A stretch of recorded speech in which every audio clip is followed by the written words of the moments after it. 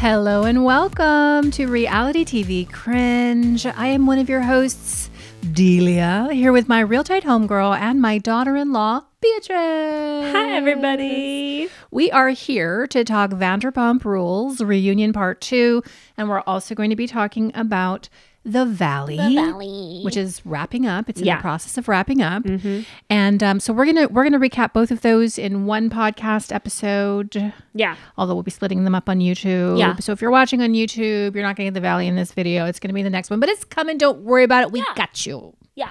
Now, before we get into all of this, we have to remind you please hide your wife and hide your kids. We are a politically incorrect podcast. We say a lot of bad words. We have dumb opinions, but we have a lot of fun. Yeah. However, if you're sensitive, you might want to find yourself another dumpster, baby. But if you're ready to party, welcome to this one. Yeah. And if you are ready to party, be sure to follow us on Instagram at Reality TV Cringe and join us on Patreon, patreon.com slash reality TV cringe. We're reacting to MILF Manor over there, y'all. Yes, we are. And that is wild. it's pretty crazy. Um, if you are watching on YouTube, please don't forget to like and comment and share and subscribe because every single thing you do helps us in the algorithm. And so thank you in advance. Now, Beatrice, you were just telling me we got a comment from somebody yeah. who said they were afraid of our podcast because we always open by saying that we're politically incorrect and they thought we were going to be neo-Nazis Yeah. and say a bunch of Racist. racist stuff like that. That's Yeah. not what we mean. No. We just mean like we might have opinions that we are unlikely to censor Yeah. that not everybody will agree with. But Yeah. we are good people over here. We are. We are wonderful people over here. And we just try to have fun, honey. Talking about reality television. We never, ever talk politics. No, fuck that shit. No, we don't like to talk about it. And so we're never going to do that. And that's great. Like, we need a space on the internet where somebody's not screaming about politics. Can I get an amen? Amen. Thank you.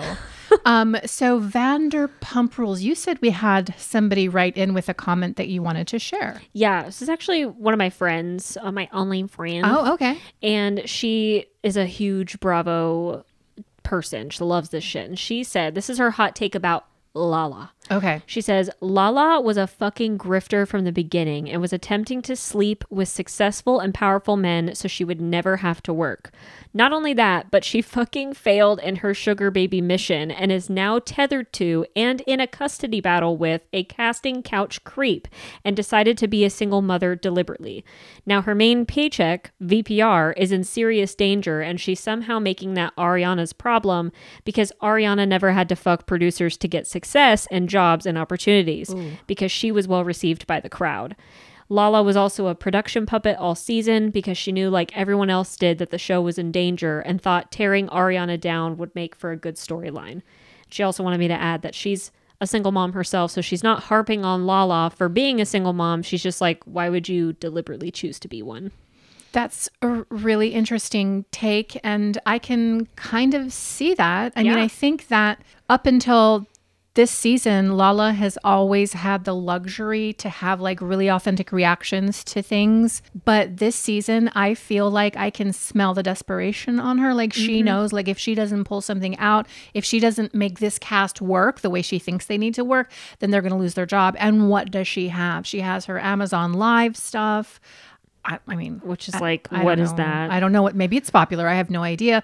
I know she has a podcast, but it's just a podcast, Right. Where she's constantly getting yes queened. Of course. like nobody challenges her on anything. Yeah. And what I thought was really interesting in this reunion is that she was going back and forth with Katie Mm-hmm. about Katie saying like, "I will come for your job if you come for mine," and she's bringing her child into it as Yeah. if she's Janet on the Valley Right. and their pregnancy and their children are the most important thing about them, distinguishing them from the shit that they do. Right. Like her hypocrisy. Yeah, Yes. her hypocrisy throughout both parts of the reunion has been on full display. Oh yeah, and it's really embarrassing to watch because like I'm not a VPR hoe, okay? Like I haven't seen all of the earlier seasons. I don't know all of the lore except for what you tell me and what I see online.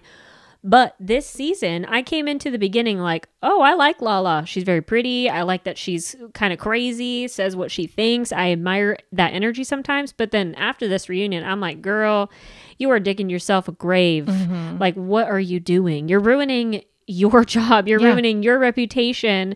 And now what are you going to do? You're going to be broke and you're going to be a single mom. Like, have fun. and nobody likes you. And the gag is like you're blaming Katie for ruining your job or trying to come for your job, but you're doing that yourself because you are so unlikable that nobody's going to want to listen to your podcast. Yep. No one's going to want to buy your send it to Daryl sweatshirts. Or your water. and nobody's going to want to support you. Yeah. And that's not something Katie did. That's something you did. Yep.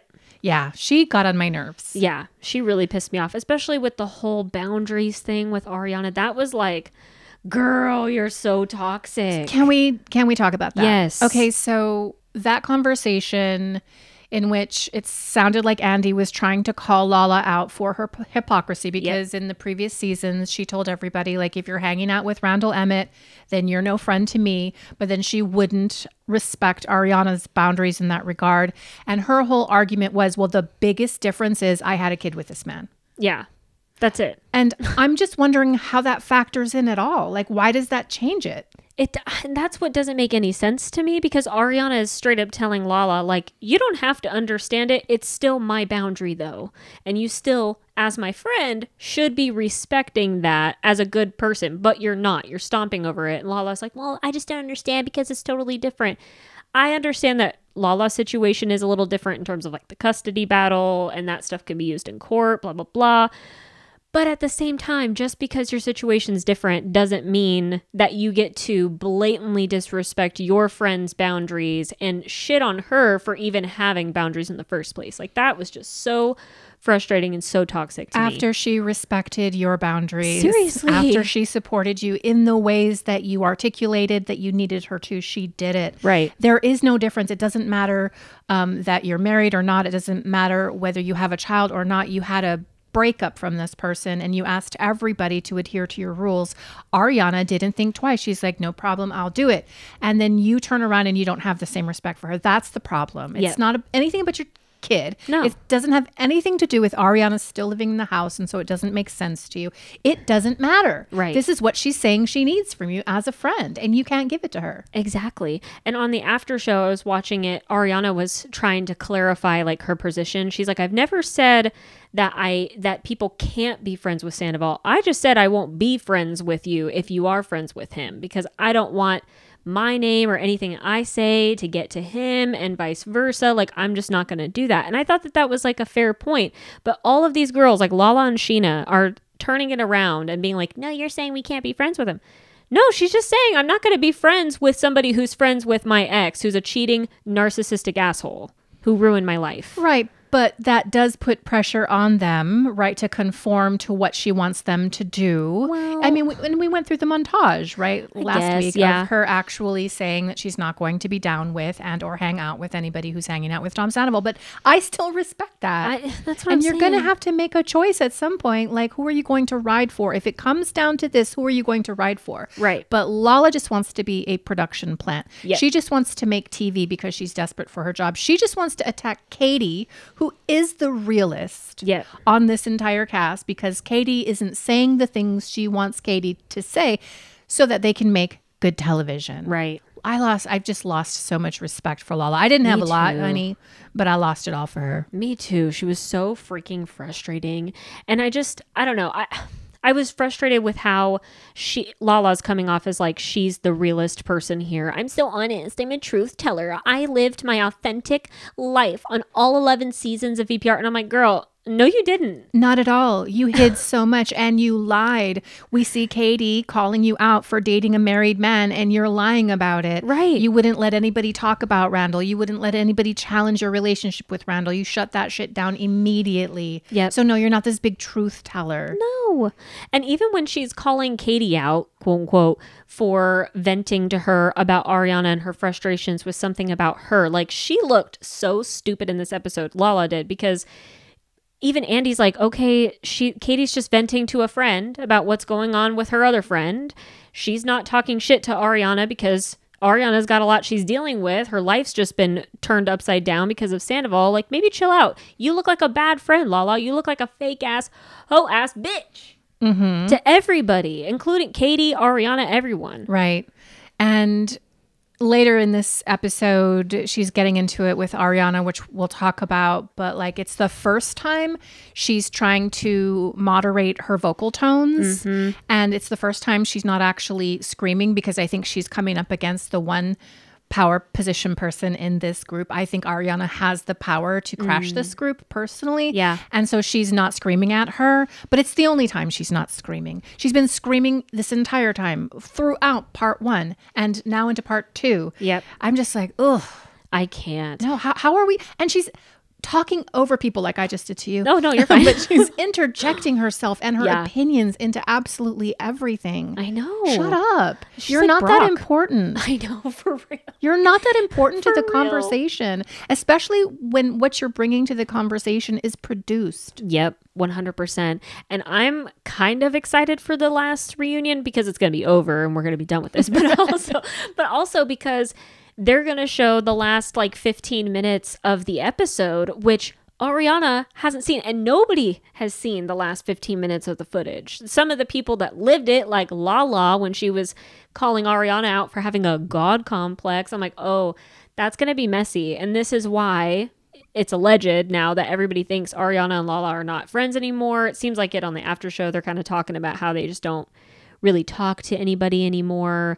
And everybody's removed Vanderpump rules from their Instagram bios. which is interesting. Yikes. Now, I don't think everybody had Vanderpump rules on their bios, but some did, and now Mm-hmm. none of them do, which I found fascinating. But yeah, that conversation came up when they were talking about Schwartz telling Ariana before they went to Tahoe, like, you're not the queen of the group. Don't tell Mm-hmm. everybody else how to feel and what to say. And then Ariana says something like, well, Schwartz is the only person who seems to have that opinion. So, like, whatever. Yikes. And then they pan across the crowd because everybody knows what was said in the season finale, even though they haven't watched it. And Ariana hasn't watched anything. So, Lala, where's your chest now? Say it with your whole chest. If you think Ariana has this big ego, then why aren't you saying it in this moment, right? like she really thought she did something this season, Lala, huh? She Mm-hmm. thought she was doing some great TV, some drama about my girl. You just ruined all your friendships. You ruined your reputation because now the world fucking hates you and thinks you're a hypocrite because you are. And it's just like crazy to see. Mm-hmm. What did you think about um, Katie and Schwartz and Jo and all of that? So, Jo is such an agent of chaos. Mm. I think she's not doing it intentionally. I think it's a byproduct of her innate personality, the way she talks over people, the way she turns to mm. Scheana constantly and asks like, "What does she mean? What does she say?" Oh my god, like she's having all these weird side conversations. She's constantly gesticulating. She's just a weird girl, and I think that's what Katie's like referring to when she says crackhead energy and like I can kind of see it. Yeah. My whole feeling about this was first of all Katie's a queen T- totally. and she really never apologized. no, she didn't. And she broke down why she felt like she felt. And I think that was entirely valid. Now, at the same time, I think Jo has every right to have felt somewhat bullied and to have felt somewhat picked upon. But at the same time, you're fucking a woman's husband. Right. Like right after they break up. And so if you get some smoke for that, you entirely deserve it. My takeaway with Jo was that she came on this reunion to make herself a victim. And I didn't mm. believe her crocodile tears. I don't believe she was really that sad about Katie. Like when you see her on all of her Instagram lives currently, Yeah. like running currently now, she's popping off. She's talking mad shit. She's emotionally unregulated. Yeah. I was much more interested in the Tom Schwartz is a fuck boy conversation. We got into that a little bit, but it's wild to me how Tom Schwartz can't take even a smidge of criticism I know. regarding his conduct and how he treats women, how he treats people, and how he's treated Katie and Jo. Like he couldn't hear anything. And even James is like, What are you talking about? You absolutely did this. And Lala's telling him, You absolutely did this. You're gaslighting. You're in front of all of us. You're gaslighting Jo. Oh, yeah. He can't see it. No, he can't see it at all. And there was also a point where Scheana said that he was a shitty husband. He's like, no, I wasn't. I wasn't a shitty husband to Katie. And it's like, oh my God, like talk about denial. Like, no mm-hmm. wonder you're dating some 20 something year old chick who's got, who doesn't have a brain that's fully Right. developed because they can, otherwise, she'd be able to see how toxic and crazy you are to like just be so unaware of how shitty you are. But then on the after show, he's sitting there with Tom Sandoval being like, Yeah, I know I wasn't the best to Katie and I'm sorry for that. And like, we're never going to get back together. It is what it is. I've moved on. It's like, Oh, shut It is lip service. up. He is saying things he thinks the audience wants to hear. When you watch him on the reunion, you can see he likes to needle her. Totally. He likes to nag her. He's just an absolute asshole. Yep. And, And he I takes no responsibility for Jo. Oh, none at all. And I loved how everyone in the group was calling him out for that. Like nobody had anything good to say about how he mm-hmm. handled Jo. And I love that Katie even straight up said like I have empathy for you, Jo, because I feel bad that you've been strung along by my shitty ex-husband who does not give a shit about you at all. All he wants to do is fuck. Right. Just like the people on Seeking Sister Wife. He Right. just wants to fuck. Right, right. That's it. So I thought that was cool that Katie at least acknowledged that. Yeah, but at the same time, she wasn't like cowed by all the people who said you shouldn't be talking to her like that. You shouldn't be mm-hmm. treating other people like that. I said that personally. Like I mm-hmm. felt like when Jo came out for that one event by the pool and all the girls got together and made her feel bad and Scheana took her hat. I'm like, what? Where are we in high school? Like, don't treat other people like that. If you have something Right. to say, you should say that. But Katie is owning her shit. She is taking responsibility for the things that she did and trying to explain herself. But the thing is, Jo just came into this reunion to make Katie look bad. I know. She's not really there to have a conversation because, frankly, she does not know how to Yeah. Mm-hmm. listen to anybody, much less speak with intention or slow the fuck down so everybody can understand her. She just came there to cry her big dumb tears and make Katie feel bad. But guess what? She don't feel bad. No, she and she's standing ten toes down, honey. And that was what was so weird to me because Jo kind of puts on this air like she's just this small town girl. She's just like a weird, quirky person in LA with all these vapid people. But it's like, girl, like, I don't know what you expected Katie to feel when you moved in with Schwartz for a few days, like you say, and you were couch surfing in his house. Like, shut up. And then you guys get drunk and have been mm-hmm. fucking for a whole entire year. And Katie even brings up, like, we had an agreement when we divorced that he wouldn't be screwing people in the friend group, I wouldn't be. And then you go and do it two or three weeks after we mm-hmm. separate. So, yeah, of course I'm going to be mad. So, I totally see what Katie's, how Katie comes from. Sure. I understand she's a hard person and she can come off very mean. I'm kind of like that too, especially when I'm hurting and I'm mad. I can be a bit of a bitch. Really? So I get oh, totally. I've never seen that in you at all. no, because I try not to because I know it can be I'm- destructive. I'm, your elder. Well, and yeah. I'm your mom-in-law. And you're always so sweet. But I hear what you're saying. Yeah. And Katie even said something like, "Yeah, I don't have to like everybody. yeah, exactly. You know, I, I don't have to respect all people. I Right. choose very deliberately who I want in my circle. And Jo, you ain't it, honey. no, honey. no, She wants to be though. very, Jo. very, very much. Talk about a grifter. So let's talk a little bit about Scheana. Mm. When Scheana was talking about not getting the memo that Ariana was going to be on Dancing with the Stars, whereas like Dan, her boyfriend, Ariana's boyfriend, got the memo, and I guess Logan. Because they're screwing and, who's Logan? I mean, Logan is, I think, Ariana's best friend. oh, okay. Like so, but Scheana was confounded and confused as to why she didn't get that memo. And then, of course, she happened to overhear that Ariana also was going to be in Chicago, and Ariana hadn't told her directly. And so she was talking a little bit about that, and she was smiling, and she mm-hmm. seemed to try to say that she didn't really have a problem with it and she understood. But I feel like she's butthurt about that. Oh, 1000%. Yeah. And it's really kind of embarrassing to me and very cringe that we're even still talking about this on the reunion. I, understand it was kind of like a a plot point throughout the season and stuff, but like if Scheana wanted to look good, all she'd have to say is, "Yeah, I was a little butthurt, but like I'm cool. I'm over it now. I wish her the best. Like that's so awesome. I'm so glad that you were on it." But like she's still like, "Oh, I just wish I would have known. I wish you would have told me. And then on the after show, she's also talking about it. Sandoval and everyone's like, yeah, Scheana should get her cho- chance at Dancing with the Stars. I'm like, oh my God, Well, This I mean, so on the reunion, Scheana says, "Well, I'm very busy this year because okay. I'm making music with the 27s or whatever their dumb name is, and so it's not like I could actually do it because I'm booked and busy and blessed. Uh-huh.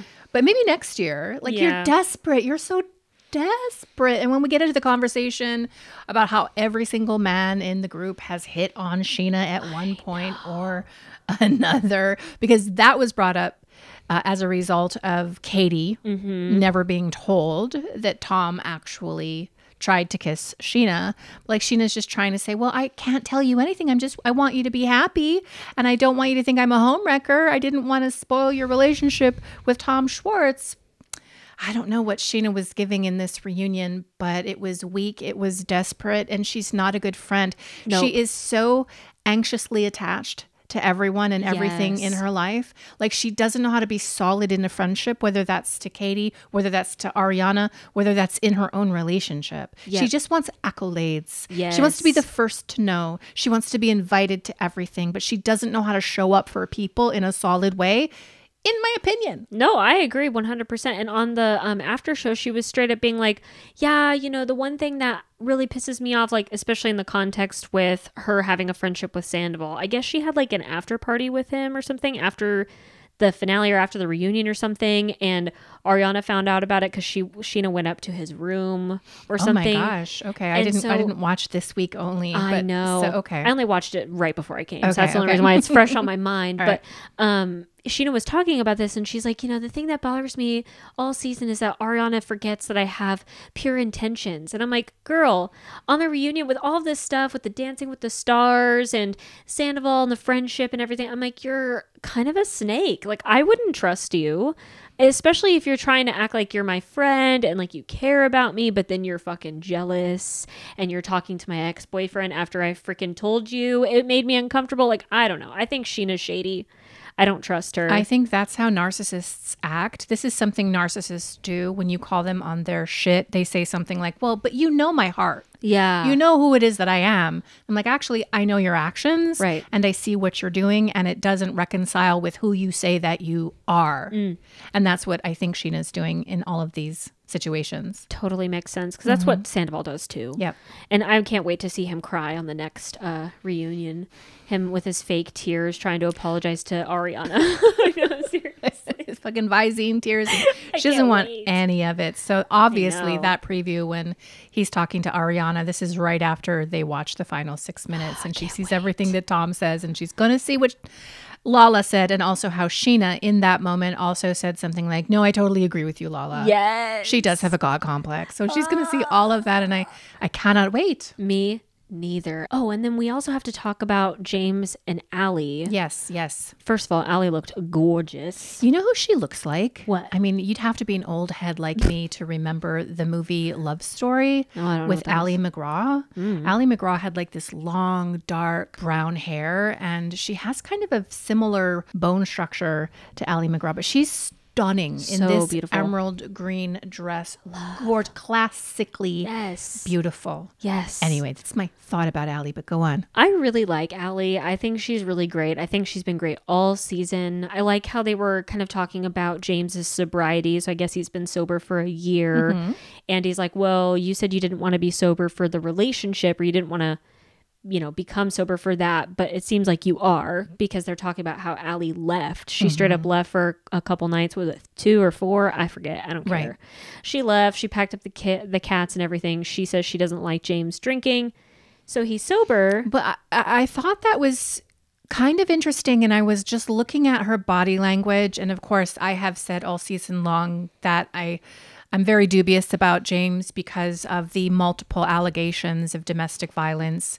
Rachel is making those allegations, although they're very veiled, but Kristen has come right out and said he fucking hit me for sure. Yeah. And so, like, I'm always side eyeing James. And I think he did those things when he was drinking. So I'm wondering if anything like that happened with Allie. Like, he was mm. drinking, maybe he was exhibiting chaotic behavior, or like, did he actually do something? I certainly hope not because she does seem to have a really good head on her shoulders. Yeah. I can't imagine that she would let some, not let, but I mean, take some sort of abuse like that and then mm-hmm. not leave Right. but I'm just not sure. I'm always where it, when it comes to James, I'm just always concerned. About always that. skeptical. Yeah. And I mean that's fair. And I wonder honestly for me, my vibe vibe check Vibe check. is that Allie probably left because he was saying some really effed up shit when he was drunk one night and she's like, "You know what? I'm done. Mm-hmm. You're an asshole every time you drink.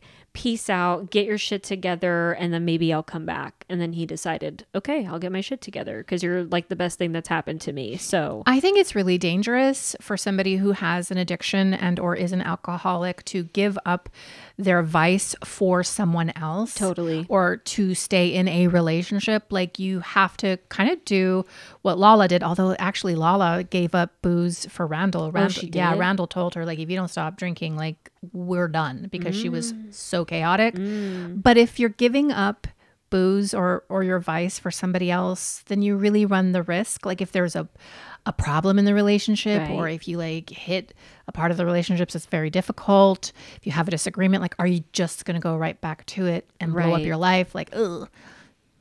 Sketchy. I know, I worry about it. Scary. And I mean, at least James took a little bit of accountability for his behavior. Like he says something like, you know, I know that I'm super disrespectful and crazy and I say some really messed up things when I'm drinking, so I just know it's better for me to stop. But I'm like, okay, but you're still a DJ though, and you DJ at all these clubs where everybody's getting drunk or high on MDMA or well, whatever. but he's California sober, so he does do a lot of weed. weed, Right. sure, but I mean, ooh, there's two different Yeah. Things right there in my opinion. So I don't know. I worry about them, but I feel like Allie's really good for him. And I hope that he can continue to be a good man for her because she deserves that. I am dubious. yeah. I don't blame you.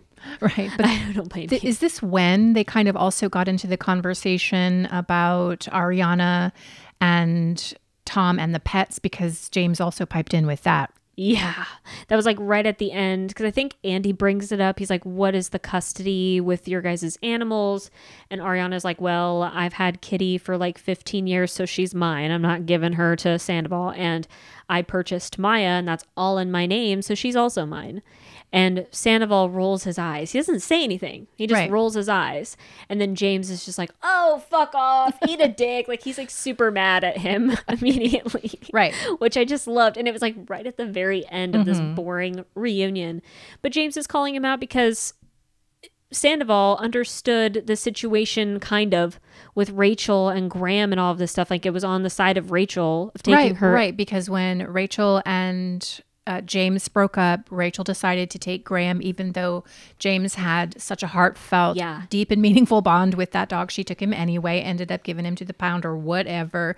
And Sandoval stood with Rachel in that situation. But now that the situation is being applied to him, he has a problem with Ariana just taking Maya because that's Ariana's dog. So, like, shut the fuck up, Sandoval. Once again, you're being a hypocrite. But then Sandoval gets all defensive in true Sandoval fashion. Yeah, and brings up that he has heard some things about James Mm-hmm. and And Hibby, I think. And Graham. and and Graham. Yeah, I think he said something he heard about things that Oh, James okay. was doing with the dog or whatever, or like he had heard some shit from Rachel that he hasn't said. But it's like you're saying shit. You're Right. going to say stuff. Right. Oh, I was in I was interpreting that as him saying I've heard like you're cheating or I heard like you're doing other Oh. things, but I think actually you're right. He's probably talking about the shit that Rachel talked when she was with Tom Sandoval because Rachel did say on her podcast, which I somebody addressed, I think it was Andy, that um